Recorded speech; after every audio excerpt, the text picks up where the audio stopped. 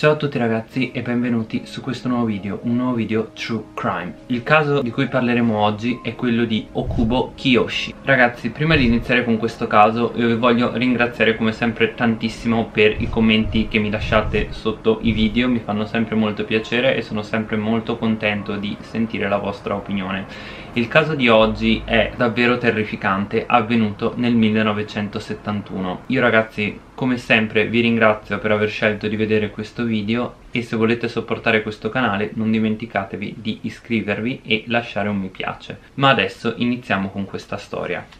Okubo Kiyoshi è nato il 17 gennaio del 1935 nella città di Kawasaki nella prefettura di Gunma e ragazzi questa prefettura è subito sopra Tokyo cioè c'è Saitama e subito sopra c'è la prefettura di Gunma Gunma è anche famosa per essere il luogo che ha dato origine alla leggenda del Daruma. Non so se voi avete mai visto questa eh, bambola chiamata Daruma che praticamente è questa bambola che spesso viene associata a quel proverbio che fa così cadi sette volte rialzati otto.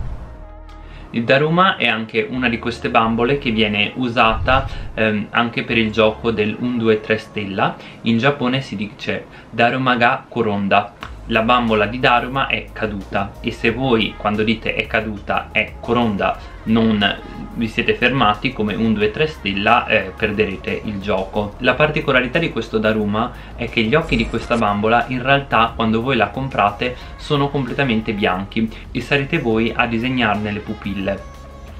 Ne disegnerete una nera appena avete acquistato questa bambola e nel momento in cui la riponete nella vostra casa dovete esprimere un desiderio. Se questo desiderio si dovesse realizzare solo in quel momento disegnerete anche l'altra pupilla. Questa è una piccola leggenda che ho voluto inserire in questo video perché mi ha sempre affascinato e scopriremo come questa storia avrà anche un'importanza all'interno di questo caso Kyoshi era nato in una famiglia piuttosto ordinaria di, eh, e aveva ben 9 altri fratelli, 5 altre sorelle e 4 eh, fratelli.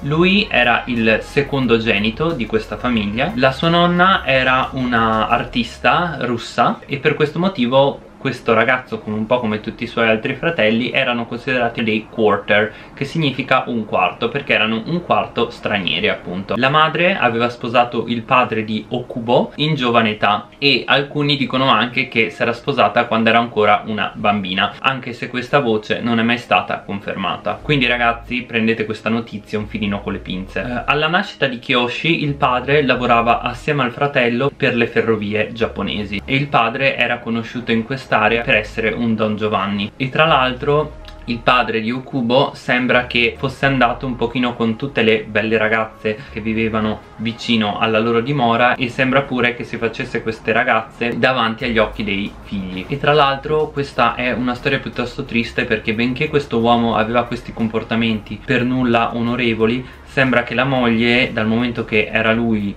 l'uomo che portava a casa lo stipendio e questa era ancora veramente una ragazza giovanissima eh, quando si è sposata doveva comunque accettare questi comportamenti di questo suo marito.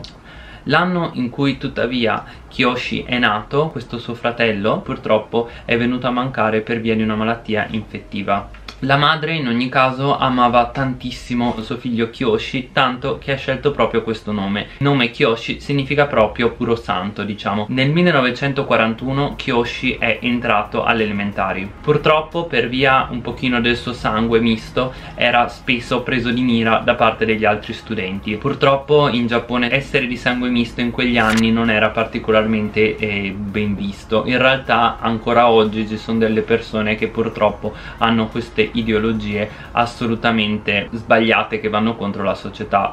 Eh, però dovete sapere che nel 1941 il Giappone stava entrando in un secondo conflitto mondiale di lì a poco. E in quel momento c'era proprio questa immagine del Giappone come un paese potente. Essere puri di sangue giapponese era motivo di vanto mentre le persone dal sangue misto erano considerate come inferiori Kyoshi non era diciamo uno studente modello, forse un po' perché veniva preso di mira, però sembrava che non avesse alcun interesse nello studio, le sue performance a scuola erano, erano piuttosto scadenti e anche il fatto che la sua situazione familiare non era sicuramente delle migliori ha inciso sui suoi risultati. E in Giappone essere dei buoni studenti significa anche avere una vita sociale e comunque è più facile stringere amicizia con gli altri studenti non c'è quell'immagine del ragazzo secchione che tutti prendono di mira. Anzi assolutamente se siete dei ragazzi che vanno bene a scuola sarà molto più facile che sarete invidiati o anzi accogare quindi ammirati dagli altri eh, studenti che molto probabilmente vorranno diventare vostri amici. Purtroppo questo Kiyoshi nel sesto anno delle elementari perché in Giappone ci sono sei anni di elementari ci sono state una serie di eh, situazioni che hanno veramente avuto una forte ripercussione sullo stato mentale di questo ragazzino. Nel 1946 infatti eh, questo Kiyoshi ha portato una ragazza in questo campo di grano e dovete sapere che quello che ha fatto è stato prendere delle pietre e inserirle nelle parti intime di questa sua compagna di classe che appunto ancora frequentava le elementari. I genitori di questa povera ragazza sono andati subito a lamentarsi dai genitori di Kyoshi ma la madre ha subito detto loro che in realtà il, il suo bambino non era nemmeno mai stato in quel campo di grano. Tuttavia quando la bambina si è recata nella loro casa e ha detto che ha subito questi trattamenti da questo Kyoshi la madre lo ha difeso dicendo che probabilmente quello che Kyoshi stava facendo era semplicemente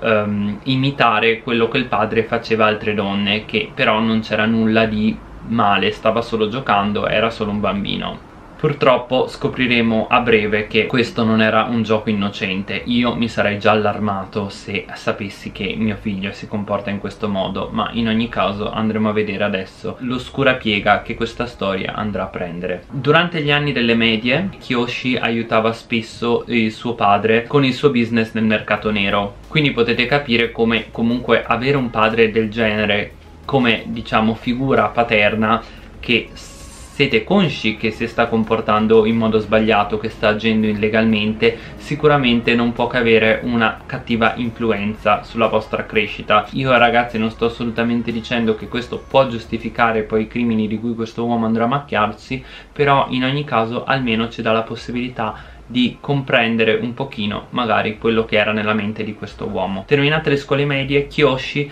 ha iniziato a frequentare le scuole superiori, tuttavia ben presto le ha lasciate. Durante quegli anni ha anche iniziato a lavorare in un'attività agricola un business tutto suo. Lasciato questo lavoro, il 17enne Kiyoshi ha trovato un nuovo impiego presso un negozio di elettronica nel distretto di Itabashi a Tokyo. E mentre lavorava in questo negozio ha iniziato a spiare le donne che andavano in bagno quando ovviamente il suo datore di lavoro lo ha scoperto lo ha subito licenziato la sorella sentita questa storia ha provato un po' pena per lui e quindi ha scelto di assumerla nel suo negozio. Lei infatti possedeva un negozio di elettronica nella città di Yokohama e la sorella ha anche insistito perché Kyoshi iniziasse a frequentare una scuola professionale. Tuttavia Kyoshi aveva iniziato a importunare delle ragazze e tra l'altro sembrava che avesse un pessimo rapporto anche con gli insegnanti. Assolutamente non voleva stare ad alcune regole. Si rifiutava di studiare e molto spesso marinava la scuola e per questo motivo è stato espulso.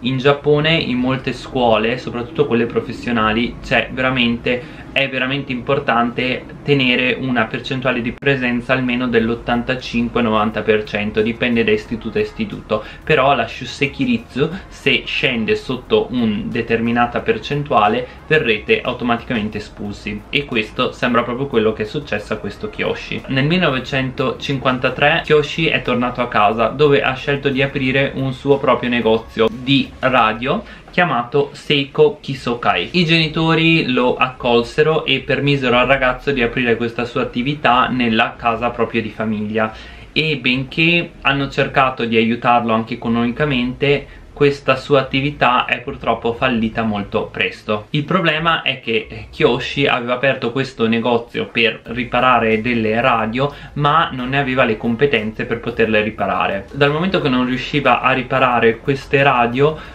um, Kiyoshi aveva trovato una nuova soluzione quella di rubarle. Quindi praticamente lui andava nei negozi, si recava e faceva shoplifting quindi rubava delle radio che poi avrebbe potuto dare ai suoi clienti spacciandole come radio riparate durante il giugno del 1953 fino al gennaio dell'anno successivo dovete sapere che questo Kiyoshi è stato portato alla centrale di polizia ben 8 volte proprio per aver fatto shoplifting. Ogni volta che questo ragazzo comunque si era recato in prigione c'era sempre il padre pronto a pagarne la cauzione e quindi non era mai stato realmente incarcerato per più di una notte o due. Il padre per poter pagare queste enormi cifre tuttavia si era quasi indebitato passato però voleva assolutamente che suo figlio evitasse la galera. Le cifre però erano così cospicue che hanno costretto comunque il padre a non poter sopportare più l'attività del figlio e per questo motivo il negozio è fallito. A soli due anni dopo questo episodio, nel 1955, il desiderio di Kiyoshi per le donne si faceva sempre più intenso, tanto da diventare quasi un'ossessione per lui il sesso opposto. Il 12 di giugno indossò questo uniforme nera, che era tipica degli studenti universitari, e iniziò a discutere con questa ragazza di 17 anni che era di Isabella Sasaki la discussione era piacevole e i due continuavano a parlare magari di loro film preferiti, di fare hiking e svariati altri argomenti, tant'è che i due si sedettero su questa panchina per continuare la loro discussione. Tuttavia a un tratto Kiyoshi le ha coperto la faccia e ha compiuto una violenza carnale. Kiyoshi quando è tornato a casa ha parlato con il suo padre e quando le ha detto perché si è comportato in questo modo lui ha detto che non ha fatto nulla di male, che solamente le donne non sono buone e che si meritano questo trattamento momento. La polizia è comunque riuscita a risalire a Kyoshi e lo ha arrestato per ass aver assalito questa ragazza. Dal momento che però questa era la prima volta che Kyoshi era stato arrestato per questa tipologia di crimine fu condannato solamente a un anno di reclusione che non dovette nemmeno scontare nella sua interezza. Infatti dopo solo sei mesi fu liberato dalla galera. Il 26 dicembre del 1955 ancora una volta l'uomo ha tentato di assalire un'altra ragazza. Questo tentativo però non ebbe successo e la ragazza riuscì a sfuggire e andare dalla polizia. Kyoshi è stato nuovamente arrestato e condannato per tre anni e mezzo. Il comportamento di Kyoshi che ebbe all'interno di questa prigione era stato proprio quello di un detenuto modello. Era riuscito a far credere a tutti i poliziotti e tutte le guardie che era un uomo cambiato e un uomo pronto a riaffrontare la società e che non avrebbe mai più assunto quei brutti comportamenti che aveva in passato. E per questo motivo la sua pena fu ridotta e il 15 dicembre del 1959 era di nuovo un uomo libero scontando di fatto solamente due anni di galera. E immaginatevi che cos'è successo di lì a poco. Infatti a soli pochi mesi di distanza dal suo rilascio il 16 di aprile purtroppo l'uomo è ricaduto nuovamente nei suoi vecchi vizi. Finse di essere un attivista del Zengakuran la Zengakuran altro non era che una organizzazione studentessa politica proprio di quegli anni. Spesso organizzavano delle proteste, delle marce e hanno presentato assolutamente un'opportunità per questo Kiyoshi di eh, attirare nuove vittime. La sua nuova vittima infatti altro non era che un attivista di questa, uh, di questa organizzazione. Kyoshi riuscì a convincerla a andare a casa sua. Tuttavia ancora una volta il suo piano non andò a buon fine. Infatti i genitori sentirono le grida di questa ragazza e fermarono Kyoshi prima che potesse concludere con questa ragazza. La famiglia ancora una volta si prese cura di questo Kyoshi e riuscì a mettersi d'accordo con i genitori di questa ragazza per evitare che sporgessero denuncia. Ancora una volta hanno versato una grossa somma di denaro e sono riusciti a far stare queste persone zitte. Io posso capire l'amore magari di alcuni genitori per il proprio figlio però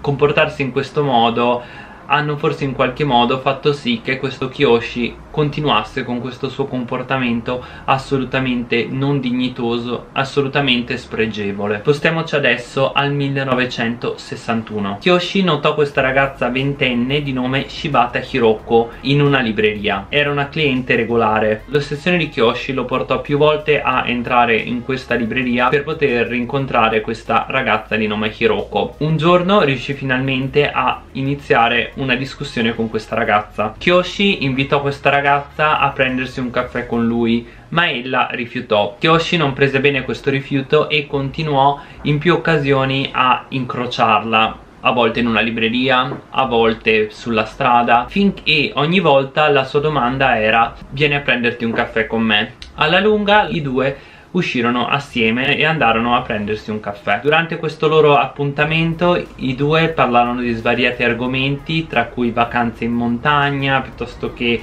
posti interessanti da vedere, i loro cibi preferiti eccetera eccetera ma tutto ad un tratto Kyoshi chiese a questa Hiroko di sposarlo benché Kyoshi l'ha pedinata per un determinato lasso di tempo in realtà questa Hiroko di fatto era la prima volta che uscivano quindi immaginatevi siete al primo appuntamento e un ragazzo vi chiede di sposarlo. Assolutamente penso che nella mente di molti di noi scatterebbe un allarme tuttavia la ragazza magari erano anni diversi ha scelto di accettare la proposta di questo uomo e i due si sposarono. La ragazza però ha chiesto a questo uomo di non frequentarsi con lei uh, in pubblico ma di incontrarsi per lo più a casa. I due quindi quando uscivano fuori per degli appuntamenti portavano sempre con loro degli altri amici. Le nozze furono celebrate nel 1962. La loro relazione iniziò gradualmente, all'inizio i due solamente si stringevano la mano prima di trasformarsi in qualcosa di più, benché erano sposati. Molti di voi magari in questo momento si staranno chiedendo ma com'è possibile che una donna così rispettata, comunque che veniva da una buona famiglia eccetera eccetera, ha scelto di uscire con un uomo del genere e in sua difesa molto probabilmente lei non aveva assolutamente idea di chi fosse questo uomo, di quale fosse il suo passato, di come si era comportato in precedenza con altre donne. Di per sé Hiroko ha scelto di sposare un perfetto sconosciuto. L'uomo infatti si era presentato per giunta sotto mentite spoglie e aveva utilizzato il nome di Sato Kyoji. Le aveva anche detto che frequentava il college e non le ha mai detto nulla del suo passato. Qui vorrei aprire una piccola parentesi per quanto riguarda gli studenti universitari in Giappone. Studiare in Giappone, fare il college in quegli anni era proprio un lusso e anche eh, sinonimo di intelligenza e possibilità di carriera molto illustri perché era particolarmente costoso studiare e non diffuso cioè è stato proprio in quegli anni che sono iniziati gli studenti universitari quindi anche quando vi ho detto che in passato si era presentato con l'uniforme scolastica questo uniforme nera era proprio l'uniforme che ti contraddistingueva dalla massa e che ti faceva spiccare perché significava che essere uno studente poteva permettersi un percorso universitario significava essere parte dell'elite quindi molto probabilmente provenivate da una famiglia illustre o perlomeno eravate estremamente intelligenti e tutto ciò vi ha permesso di fare l'università quando tuttavia la moglie riuscì finalmente a scoprire il suo vero nome era sotto shock e rimase in silenzio, non poteva capire perché questo uomo le avesse mentito sul suo vero nome. L'uomo eh, Kyoshi tuttavia non ha dato alcuna spiegazione e ha continuato a mentire sulla sua vera identità, magari non sul nome ma sicuramente su qual era il suo passato il loro matrimonio andrà avanti per un altro anno e il, nel loro secondo anno di matrimonio venne alla luce il loro primogenito. È stato proprio in questo momento che Kyoshi ha scelto di intraprendere un percorso come poeta e tra l'altro arrivò persino a pubblicare il suo primo poema, la sua prima raccolta di poesie che raccoglieva appunto 22 sue creazioni. Il nome che aveva utilizzato come poeta era quello di Tanigawa Ikase. Nel 1964 Kyoshi ha nuovamente cercato di aprire un negozio, questa volta di alimentari, all'interno della loro casa. Sembrava proprio che questo Kyoshi non riuscisse mai a fare nulla eh, di sua iniziativa, perché anche qui ancora una volta c'era l'aiuto della famiglia della ragazza Benché eh, diciamo le premesse erano le stesse del suo negozio in passato, inizialmente l'uomo per i suoi standard si era veramente impegnato e stava lavorando estremamente sodo per poter portare dei profitti. Tuttavia ben presto questi soldi non erano abbastanza per lui e iniziò a eh, svolgere delle attività illegali per il partito comunista. Kiyoshi iniziò a inventarsi una serie di bugie e addirittura si è inventato che lavorava sotto copertura per il partito comunista giapponese. Eh, in realtà eh, non era vero. Quello che in realtà lui faceva era inventarsi queste scuse per uscire di casa e tradire la propria moglie. Kyoshi continuava ripetutamente a tradire la propria moglie e questo suo comportamento continuò anche dopo il 1965 quando la sua moglie Hiroko ebbe la loro seconda genita. E tra l'altro eh, nel giugno di quell'anno ebbe una reazione assolutamente spropositata quando un eh, cliente, una persona che si era recata all'interno del suo negozio tentò di rubare una bottiglia d'acqua. L'uomo si era arrabbiato così tanto che ha subito chiesto un rimborso alla famiglia per tutto il disagio che aveva recato all'interno del negozio e quello che aveva dovuto subire. E considerando tutte le volte che Kyoshi era stato sorpreso shoplifting è incredibile come avesse avuto questa reazione così spropositata. Kyoshi è arrivato addirittura a chiamare la famiglia di questo ragazzo chiedendo un, un ulteriore risarcimento pari a 17.000 yen per tutto il disagio che questo ladro ha creato all'interno del loro negozio. I genitori di questo ragazzo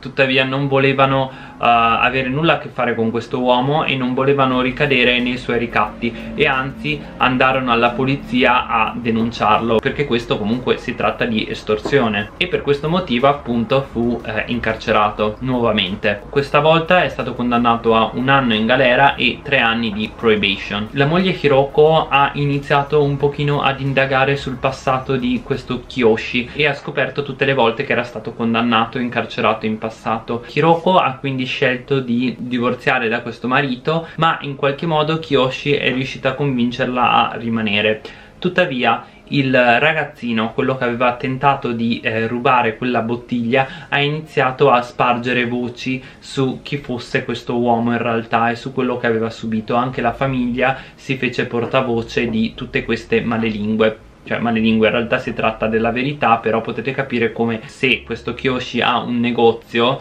in un posto magari neanche in una grande città in una città piuttosto rurale potete immaginare come queste voci possono veramente compromettere la reputazione di un negozio portando la famiglia di Kyoshi in bancarotta. La cosa strana è che benché appunto il suo negozio era completamente fallito Kyoshi ha scelto di eh, diciamo farsi un regalo e si è fatto fare un prestito dalla banca per comprare una nuova vettura inoltre aveva iniziato a indossare questo cappello e portava sempre con sé le sue creazioni, le sue poesie questo faceva tutta parte del nuovo look con il quale questo Kyoshi si presentava per poter diciamo far breccia nei cuori di nuove possibili sue vittime e il 23 dicembre del 1966 alle 5.40 volta l'uomo ha iniziato una conversazione con una ragazza di 16 anni. Kyoshi ha offerto a questa giovane di riaccompagnarla in macchina a casa.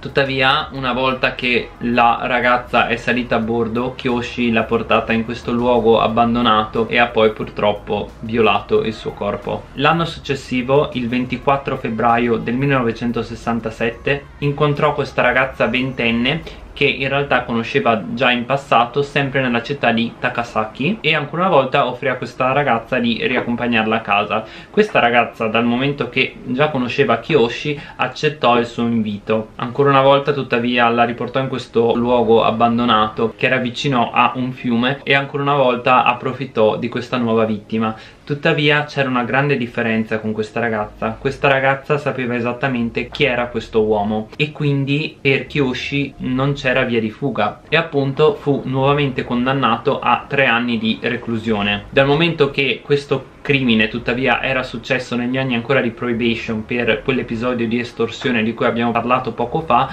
La sua pena è stata estesa da 3 anni a 4 anni e mezzo. Kyoshi però sapeva bene come comportarsi in prigione e ancora una volta era riuscito a dimostrarsi o a fingere di essere un detenuto modello. Addirittura il direttore della prigione gli ha conferito 4 medaglie per il suo comportamento onorevole all'interno di questa struttura So che questa storia fa veramente arrabbiare a ripensarci, cioè il fatto come questo uomo sia riuscito a manipolare tutte queste persone e riuscire a convincerle che fosse cambiato è veramente terribile. Durante questo periodo in cui l'uomo era in prigione, la moglie ha finalmente preso la decisione di lasciare per sempre questo marito e ha concluso le trattative per il divorzio. Ha preso i bambini e è tornata a vivere nella sua città natale e benché questo sembra una vittoria se vogliamo da un altro punto di vista immaginatevi questa madre che doveva spiegare ai propri figli dove si trovava il loro padre e perché avesse preso la decisione di lasciarlo per sempre. Il 2 marzo del 1971 il 36enne Kyoshi era nuovamente un uomo libero.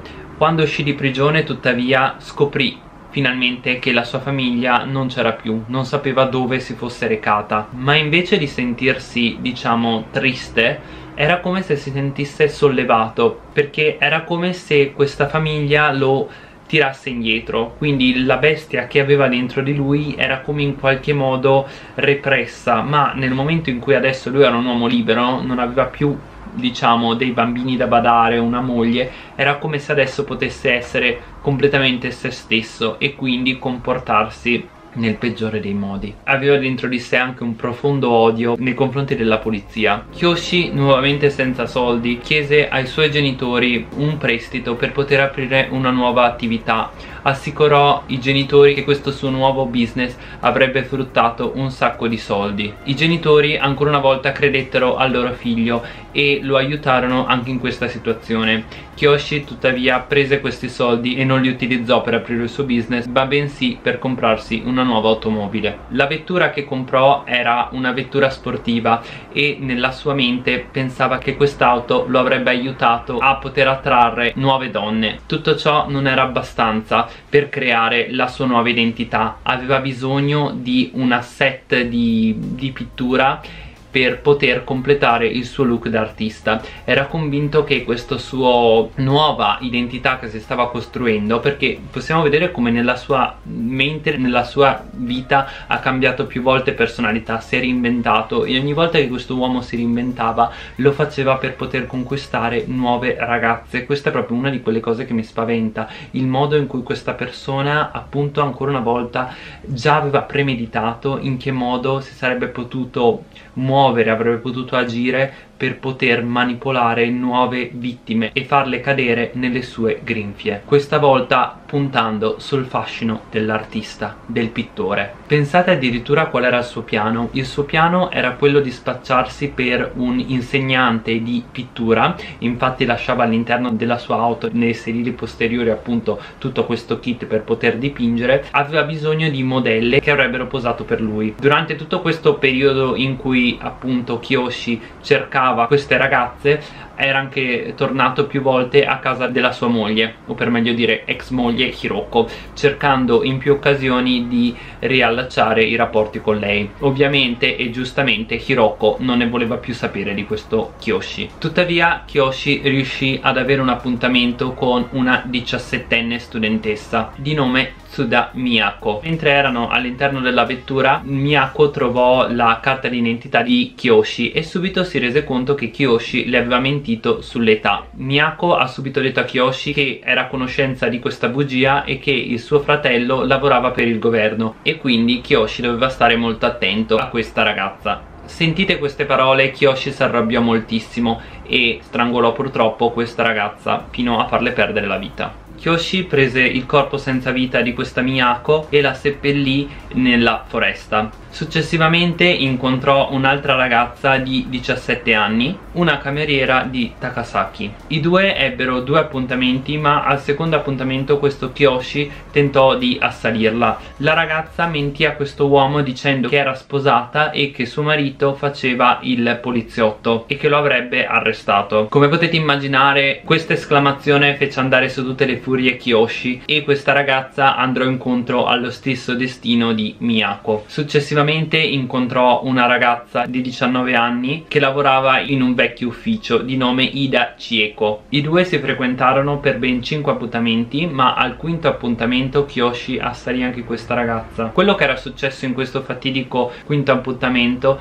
era che la ragazza aveva scoperto il vero nome di questo uomo e in parte anche il suo passato. Dal momento che Kiyoshi era estremamente preoccupato del fatto che magari la polizia sarebbe potuta risalire a lui, a Miyako e a questa cameriera. E per questo motivo durante questo quinto appuntamento l'uomo ancora una volta attaccò questa ragazza con cui si stava frequentando e le strappò la vita. Il corpo ancora una volta fu sepolto eh, nella foresta e pensate che questo uomo soltanto un giorno dopo che aveva seppellito questa donna, esattamente il 18 aprile, uscì con una ragazza di 17 anni di nome Kawabata Seiko. Ancora una volta l'uomo aveva provato ad assalirla e questa ragazza in un disperato tentativo di difendersi ha detto all'uomo che il suo padre faceva il poliziotto e che avrebbe arrestato Kyoshi Yoshi se avesse scoperto che eh, l'aveva aggredita. Potete immaginare che fine ha fatto anche questa povera ragazza. Una settimana dopo il 27 aprile incontrò una nuova ragazza questa volta delle superiori di nome Saito Akemi. Anche la vita di questa ragazza purtroppo è stata strappata in circostanze simili a quella di Seiko.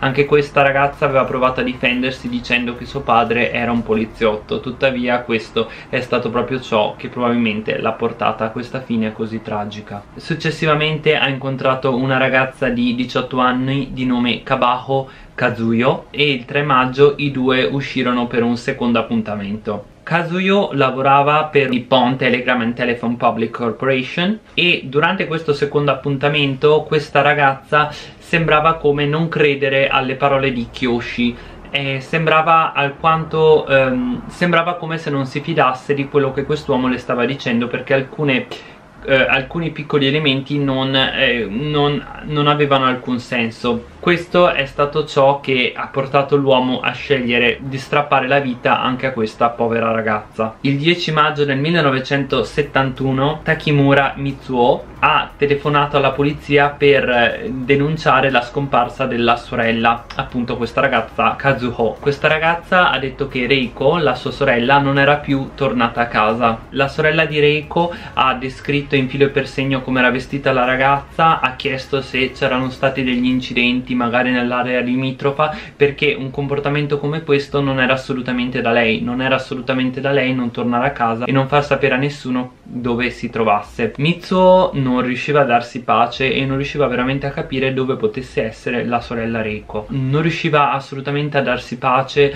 ha perlustrato lei stessa in macchina assieme ai genitori nella speranza di potersi riabbracciare con la sua sorella. È stato proprio in quel momento che Mitsuo si è ricordata che Reiko le aveva detto che avrebbe posato da modella per un artista, per un professore di pittura. Eh, la famiglia era contraria e non voleva che Reiko posasse come modella. Tuttavia Reiko, la sera precedente, aveva preso la sua bicicletta e si era recata in questo studio. Questo studio almeno si pensava che questo studio si trovasse nei pressi di una banca. La sorella è andata a vedere nei dintorni della banca per vedere se ancora c'era questa bicicletta della sorella. Con sua sorpresa questa ragazza ha trovato la bicicletta di questa ragazza appunto parcheggiata di fronte a questa banca. La sua prima reazione era quella di rimanere lì e vedere che cosa sarebbe successo di lì a poco. La ragazza rimase davanti a quella banca per ben tre ore e tutto un tratto un uomo si avvicinò a questa bicicletta e con un panno iniziò a pulirla. La ragazza immaginatevi lo shock che ha provato perché immaginatevi essere davanti a questa stazione di polizia vostra sorella è scomparsa e la sera prima era uscita appunto con quella bicicletta. Voi vi ritrovate davanti eh, a questa banca dove c'è la bicicletta parcheggiata lì di fronte e un uomo da un tratto viene lì a pulirla. La ragazza era sicuro che questo uomo stesse diciamo occultando determinate prove e era assolutamente convinta che questa figura che scopriremo in seguito essere proprio Kiyoshi fosse il responsabile della scomparsa della sorella, appunto Reiko. Si avvicinò all'uomo e chiese con una voce calma se questa fosse la sua bicicletta. L'uomo eh, sembrava essere estremamente preoccupato e si era reso conto che magari questa ragazza potesse sapere qualcosa. Quindi, terrorizzato, ha, detto, ha risposto alla ragazza solamente che si era sbagliato, che probabilmente quella non era la eh, sua bicicletta. E rapidamente l'uomo salì di nuovo a bordo della sua vettura e si dileguò. La ragazza però molto furbamente memorizzò il modello di vettura che questo uomo eh, stava guidando e anche dei numeri della targa. Con queste informazioni andò alla polizia e cercò di individuare chi fosse il proprietario di quella vettura. La polizia scoprì ben presto che il proprietario di quell'auto altro non era che Okubo Kiyoshi e subito i poliziotti si recarono a casa di Kiyoshi per fargli de de delle domande. Quando arrivarono nella sua abitazione tuttavia non trovarono l'uomo. Chiesero ai suoi genitori dove si potesse trovare ma anche loro non ne avevano assolutamente idea. Scopriremo poi in seguito che ancora una volta i genitori di questo Kiyoshi hanno cercato di proteggerlo, in realtà sapevano benissimo dove si trovava questo Kiyoshi. E questa è una cosa che veramente mi spaventa. Il grado in cui questi genitori hanno cercato di proteggerlo mettendo a ripentaglio la vita di così tante ragazze perché i genitori io non posso credere che non sapessero che tipologia di uomo fosse il loro figlio. Cioè hanno avuto tantissimi precedenti perché non hanno cercato di fermarlo? Questa è una cosa che veramente mi fa arrabbiare e sono sicuro che fa arrabbiare molti di voi la polizia andò anche a casa di Hiroko nella speranza di poter ritrovare Kyoshi, tuttavia Kyoshi non si trovava a casa della moglie e la ex moglie ha detto ai poliziotti che più volte le era capitato di rivedere Kyoshi che era venuto più volte a casa sua per richiederla indietro per poter riallacciare i rapporti. In totale ben 11 volte questo uomo si era recato nella sua dimora ma che da marzo, dal 3 marzo di quell'anno non l'aveva più rivisto e non aveva assolutamente idea di dove Kyoshi si potesse trovare in quel momento. Reiko chiese aiuto al fratello che servendosi di una serie di amici, un totale di 50 persone, si sono tutti messi alla ricerca della vettura di Kyoshi la ricerca andò avanti per svariate ore e alle 11 di sera di quella notte riuscirono a rintracciare la location di questa automobile che era parcheggiata davanti a un benzinaio. Kyoshi si era subito reso conto che qualcosa non andava e che lo stavano pedinando e per questo motivo ha iniziato a guidare in modo sfrenato fino a riuscire a depistare i suoi inseguitori il 12 di maggio tuttavia la polizia ha iniziato un inseguimento e a ricercare questo uomo servendosi addirittura di 70 vetture per riuscirlo a rintracciare e finalmente il 13 di maggio sono riusciti ad acchiapparlo. Ma dal momento che non c'erano abbastanza prove la polizia non ha potuto trattenerlo. Solamente due giorni più tardi fortunatamente una delle vittime che ha subito una violenza carnale si è fatta avanti e ha denunciato questo Kyoshi. L'uomo è stato nuovamente nuovamente condotto alla polizia per aver appunto con l'accusa di aver abusato di questa donna e Kiyoshi successivamente ha ammesso di aver aggredito questa ragazza e qua la storia si fa veramente cupa perché la polizia aveva capito che questo uomo era il colpevole e che molte persone, molte ragazze che avevano un profilo piuttosto simile, che erano scomparse in quella zona, molto probabilmente erano state vittime di questo uomo, di questo Kyoshi. Inizialmente Kyoshi aveva negato tutto, ad eccezione di quella vittima che era ancora viva e si era fatta avanti, ma la polizia è riuscita a farsi dare una confessione anche utilizzando delle poesie. Facevano leggere praticamente queste poesie a Kyoshi per poter instaurare una specie di connessione con questo uomo e permettergli di esprimere le proprie emozioni. Questo è un po' quello che ho trovato su il giornale appunto Asahi Shimbun c'era proprio un discorso molto lungo che parlava di questo legame che questo Kyoshi aveva con la poesia e era un modo anche per poter entrare all'interno della sua psiche in qualche modo. Kyoshi pian piano ha iniziato a confessare tutti i suoi crimini e dove erano sepolte le sue varie vittime. Ci sono voluti ben 80 giorni ma la polizia è riuscita a ritrovare tutti i corpi che questo uomo aveva violato e aveva poi seppellito quasi tutti all'interno di questo bosco non lontano dalla stazione di polizia. L'investigazione e l'interrogatorio durò moltissimi giorni e fu veramente difficile riuscirsi a riuscire ad avere una confessione e delle informazioni dettagliate su dove avesse seppellito questi corpi.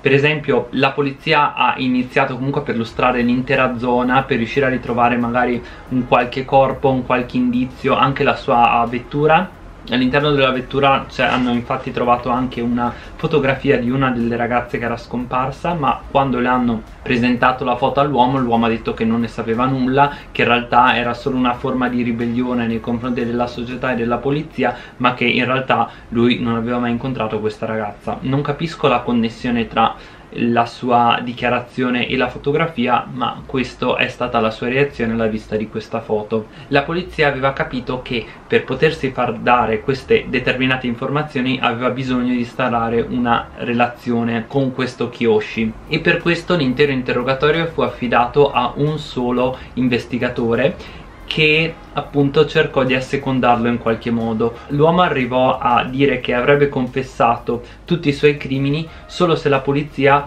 avesse accettato sette sue condizioni. Le condizioni non sono mai state rivelate al pubblico, tuttavia eh, posso dirvi che l'investigatore che era capo di questo interrogatorio ha rifiutato categoricamente tutte e sette queste sue condizioni dicendo che erano troppo egoistiche. Dopo che nessuna delle sue richieste è stata accolta, Kyoshi ha un filino cambiato il suo atteggiamento, cercando di essere un pochino più empatico se vogliamo in qualche modo. l'investigatore ha subito notato questo cambio di comportamento e per questo motivo si è presentato davanti con delle poesie che aveva scritto lui dicendo che in realtà questo investigatore e questo uomo erano allo stesso livello che tutti e due avevano questa vena artistica e che quindi potevano in qualche modo connettersi. È stato grazie a questo stratagemma utilizzato da questo investigatore che la polizia è riuscita a avere informazioni per quanto riguarda ehm, il luogo dove era stato seppellito il corpo di Kawabata Saiko. Tuttavia dopo che è stato ritrovato questo corpo il comportamento di Kyoshi è cambiato nuovamente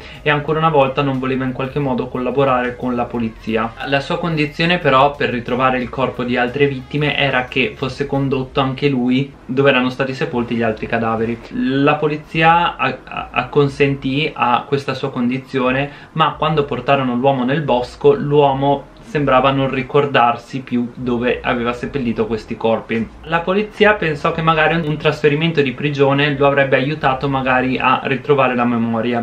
In questa nuova prigione dove lui era stato condotto era praticamente l'unico detenuto ed era sempre in isolamento. Kyoshi ha iniziato a essere quasi in panico, non riusciva assolutamente a rimanere da solo e per questo motivo ha iniziato mano a mano a confessare dove si trovavano gli altri corpi. È stato così ritrovato il corpo di Akemi, Kazuyo e Miyako, oltre a quello della ventunenne Naoko. Tra l'altro la polizia ha scoperto che questo Kiyoshi ha assalito questa Naoko proprio il giorno in cui la sorella appunto di Reiko ha riportato alla polizia le informazioni su questo uomo quindi capite che meno male che questa Reiko è riuscita in qualche modo a fermarlo perché altrimenti molto probabilmente questo uomo sarebbe andato avanti ancora per anni e anni a fare tutte queste vittime. La relazione con Naoko è stata forse tra le più longeve per i suoi standard dal momento che si sono incontrati per ben sette volte. E il motivo per cui questo,